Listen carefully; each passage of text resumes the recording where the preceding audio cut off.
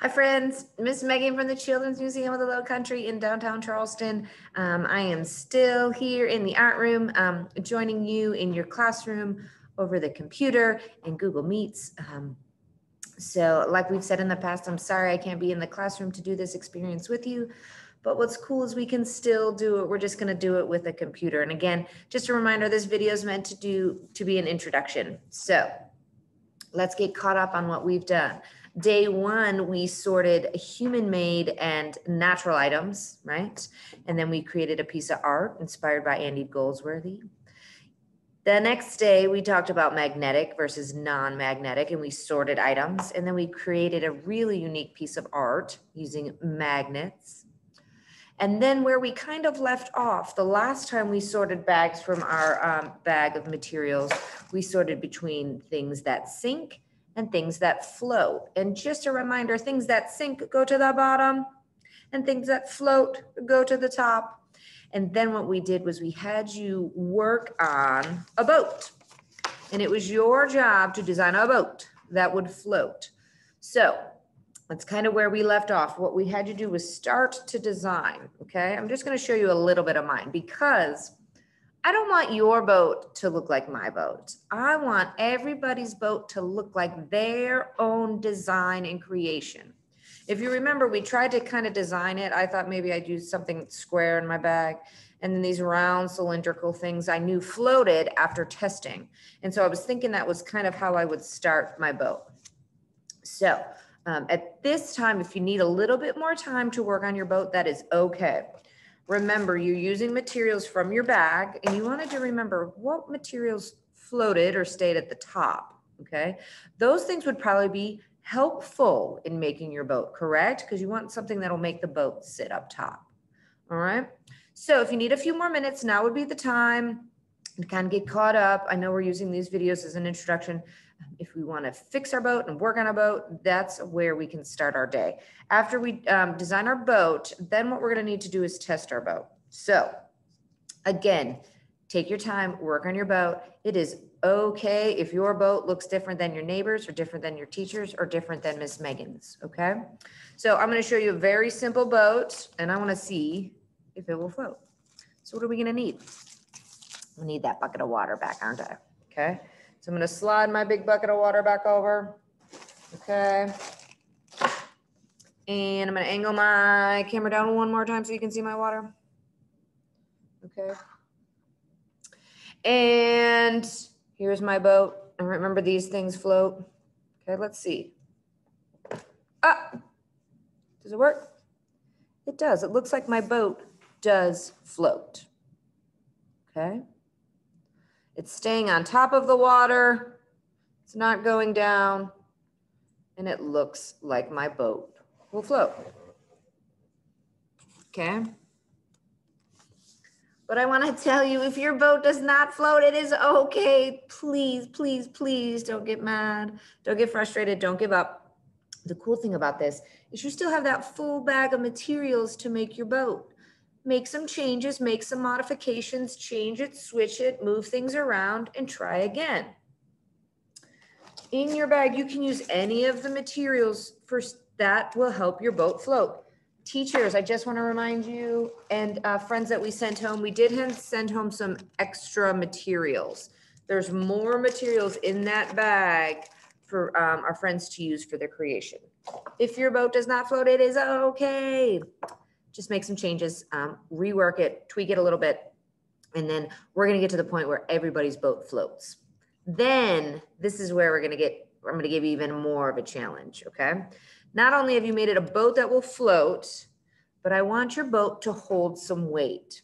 And what that means is imagine we're on our, a little boat. Okay. Sometimes I've done this with little animals or Lego people, but I want to know that it'll hold that weight. So teachers in your packets, um, or adults at home, you could use toys, Legos, blocks. Um, teachers in the classroom, I've included these metal washers and I have the nice big ones, but they're the kind that hold weight. So what we're gonna do is we're gonna test our boat to see if it will hold some weight. And that's where our challenge is gonna come in.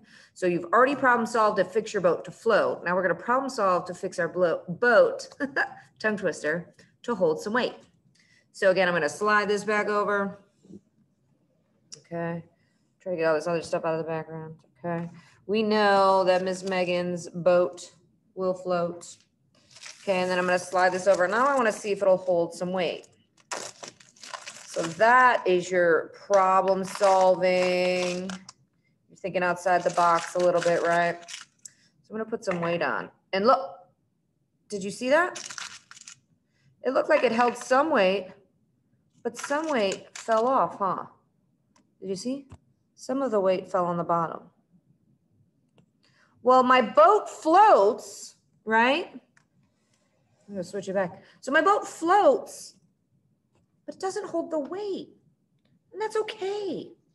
Don't get mad. We're gonna fix that, okay? So I'm gonna get my boat out. And I need to think of a way that I can change my boat so that it'll hold some weight. And I noticed it didn't, it fell off the side, so I didn't have any edges on my boat, right? So what I think I'm gonna do, I think I got an idea.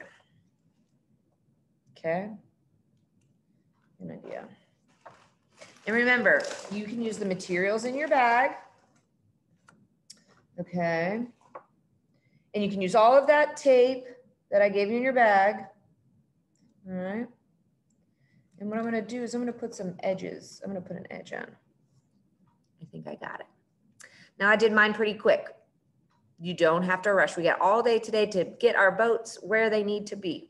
So what I did, slide my boat, my water back in. Okay, there's my water. You can kind of see even through the water what I did. Okay, my boat floated, so I didn't really need to change that.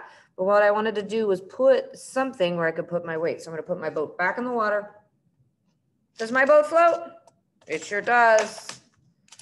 And then I'm gonna take, just because I wanna really challenge myself. I'm gonna put a whole bunch of weight in. Let's count as we do it. One, two, three, four, five, six, seven, eight, nine, 10, 11, 12, 13, 14, 15. My boat is still floating and it's holding all that weight. Okay? Get you back on screen here. All right. So again, friends, remember, yesterday we worked so hard on designing that boat. Today, if it didn't work, that's okay. Number one, what we're gonna do is we're gonna get our boat to float. I want everybody's boat to float. Then I'm gonna give you the next challenge, and that challenge is to make your boat hold some weight. Again, it may not work the first time. That is okay. Do not get mad. Do not get frustrated. Don't give up on me. Okay keep working, move things around, move the tape around. Your teacher and um, adults at home, um, if you need extra materials, feel free to change them. Um, we're problem solving and fixing it and meeting our STEM challenge. So make your boat, get it to float, and then see if you can add some weight. Okay. All right, friends, whatever your book, book like boat looks like it doesn't matter. It's okay as long as you met the challenge. What we like to do here at the museum is worry about the process. Enjoy the process the learning the growing and the playing that's happened and not necessarily the final product of your boat. Um, it's been a really great couple days sorting with you experimenting and problem solving and figuring things out. Um, again, I wish I could be in the classroom. I, I, miss seeing all of those smiling eyes under the mask and those smiling faces under the mask. We miss you and we can't wait to see you down here at the museum and back in the classrooms. As always, keep in touch, send pictures. I'd love to see some pictures of your boats. Um, please feel free to send me some pictures of your boats. And um, I can't wait to see you. Thanks so much, friends. Have a great afternoon. Bye-bye.